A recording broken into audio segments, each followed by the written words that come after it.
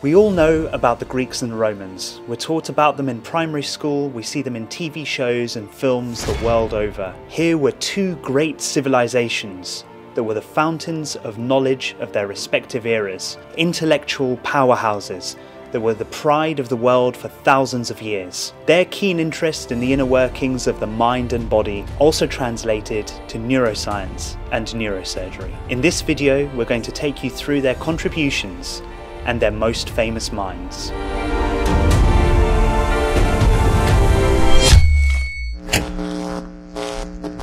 The ancient Greeks flourished between the ages of 700 BC and 600 AD. However, the first evidence of neurosurgery conducted in Greece has been found to date back even earlier, to around 800 BC in the city of Thrace. Just as Neolithic man did, ancient physicians used trepanation to remove ballistic injuries from young patients and relieve the pressure on their brains. With signs of the surrounding bone healing, it seems these patients survived their injuries, but these successes seem to be more luck than any meaningful judgment. The Greeks didn't really have a concept of medicine as we know it at first. In the earliest days of civilization, people calling themselves doctors or healers were really just random people who travelled around treating people without any form of education. It was also believed at first that any form of illness was a form of divine punishment wreaked upon the body by one of the many gods that lit up the legendary Greek pantheon. As time went on though, the Greeks became more structured in their approach.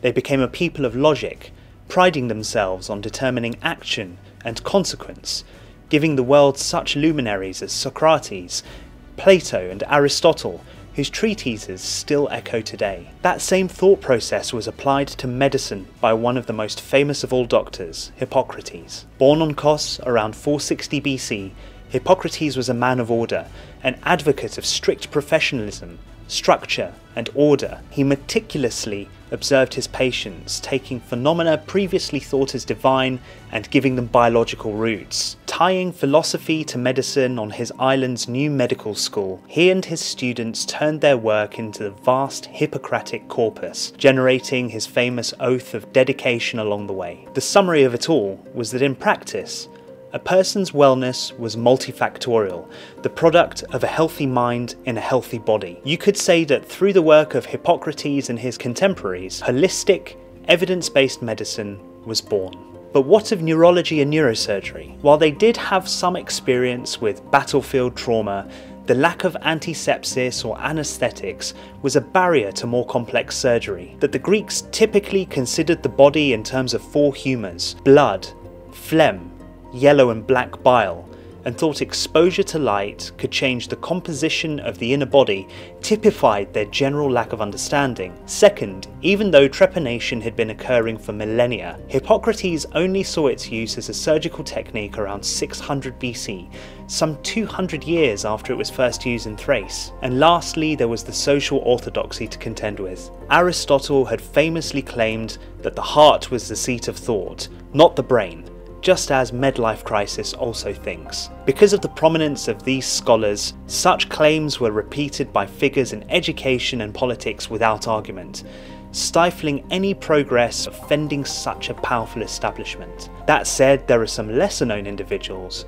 whose discoveries within the Hellenistic period between 507 and 323 BC are absolutely worth mention. Alexandria, a city in Egypt named after the unbeaten General Alexander the Great. The influence of the Greeks here was strong, and under the leadership and liberal mindedness of Alexander's friend Ptolemy I, Herophilus and Erasistratus were allowed to become the fathers of neuroscience. The two were contemporaries, who founded the Alexandrian Anatomy School. Of the two, it seems Herophilus was the purer academic. Born in 335 BC in ancient Turkey, he journeyed to Alexandria to study, remaining there for the rest of his career. He initially gained repute for his book on pulses, which explored how blood flowed from the heart to the peripheries. However, he was perhaps the first person to ever systematically dissect human cadavers. Herophilus went counter to Aristotle. He believed the brain housed intellect, not the heart. His dissections went a long way to prove this. He used 3D sections or cuts to map as much of the neural network as possible, distinguishing the cerebrum from the cerebellum, the brain's blood supply, various segments of the eye, and even the difference between sensory and motor nerves. Such were his achievements that the confluence of the superior sagittal, straight, and occipital venous sinuses of the cranium still bear his name, the Torcular Herophili. Erasistratus was party to all of these discoveries. Born on the Greek islands, he added detail to Herophilus' discoveries, describing in depth, for example, the contents of the cerebrum and cerebellum. He also studied the superstructure of the brain's ventricles, and how a person's numerous gyri made them smarter than other animals. This was his evidence to back his colleague against Aristotle.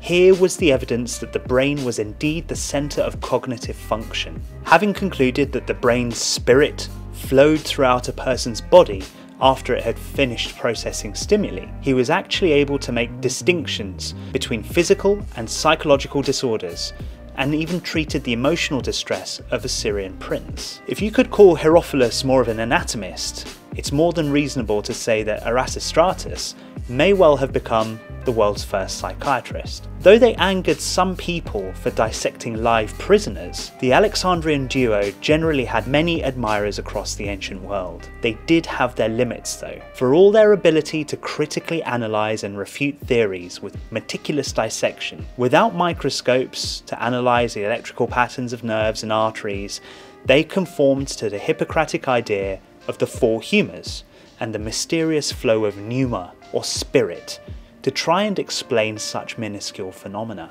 It also seems that history was not to be on their side. All of their work was lost in the years after their deaths, destroyed by a combination of library fires, politics, and war. But that was far from the end. The legacy was eventually discovered by historians researching their successor, a philosopher medic from ancient Rome who quoted their work extensively. I am, of course, talking about Claudius Galenus, or as most of us will know him, Galen.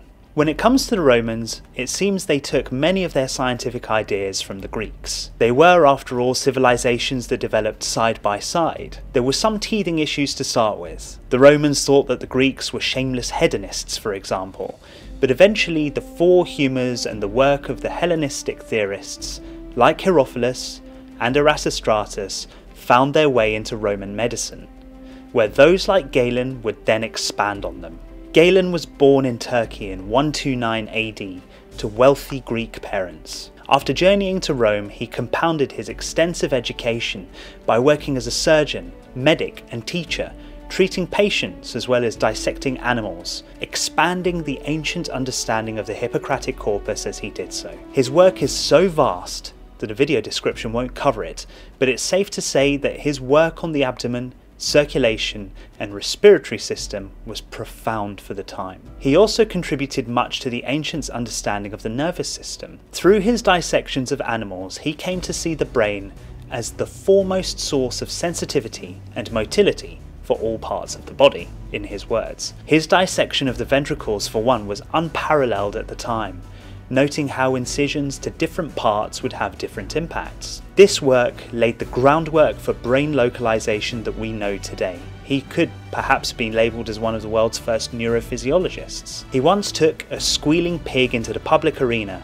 and silenced it with a single cut. With the pig still struggling noiselessly, his cuts revealed the role of the recurrent laryngeal nerve in the neck in sound production, marking him perhaps as one of the first experimental neurosurgeons. This is just a snapshot of Galen's formidable body of work. It was so vast and confidently presented that people as powerful as the Emperor Marcus Aurelius thought of Galen as primum sane medicorum esse philosophorum autem solum, first among doctors and unique amongst philosophers. Such was the clarity of his distillation of ancient Greek ideals, and so forceful was his rhetoric, that he gave the era's medical and religious establishments the feeling that there was nothing left to learn. Though that must have been reassuring at the time, in practice, it led to many, many years of stagnation. Even in the 1500s, Galen and the Hippocratic foundations upon which he stood was considered the pinnacle of medical science,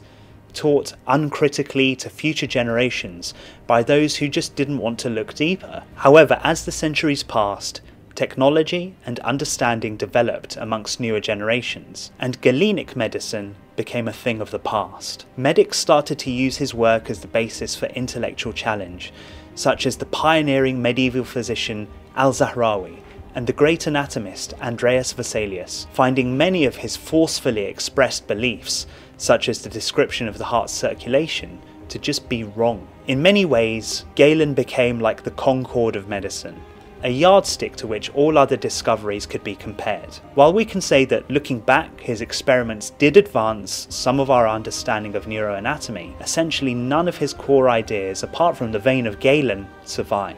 Truth be told, the ancient world and neurosurgery as a whole simply were not compatible. Though physicians were able to look at structures on a macro or bigger level, without the insight to develop technology or the technology to spark insight, there were simply too many limitations to look deeper at the micro level structures that now define our specialty. Though some, like Herophilus and Erasistratus, worked hard to break such confines, in the end, the seed of neurosurgery itself would only start to sprout within the Middle Ages and the Italian Renaissance, and then truly flower within the late 800s and earlier 20th century. We're going to cover all of these and more in the later videos. I hope you've enjoyed this travel through medicine and surgery in ancient Rome and Greece. Feel free to contribute to the discussion in the comments below, and I look forward to seeing you in our next video.